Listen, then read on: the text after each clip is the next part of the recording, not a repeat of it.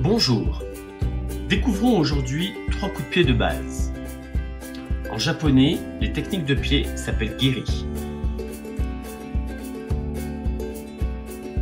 Le maigiri, c'est un coup de pied de face, il est direct et vers l'avant.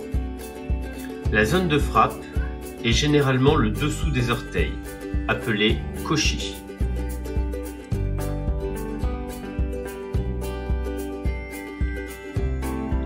Le Mawashi-giri, c'est un coup de pied circulaire. En compétition, la zone de frappe est le dessus du pied, appelé ezoku. Mais il peut également se faire avec le dessous des orteils, ou koshi. Le Yokogiri, c'est un coup de pied latéral. Il se fait avec le tranchant du pied l'on appelle Sokuto.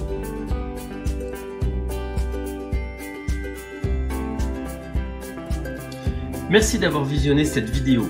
Si tu as aimé, n'hésite pas à t'abonner et à mettre un petit pouce bleu.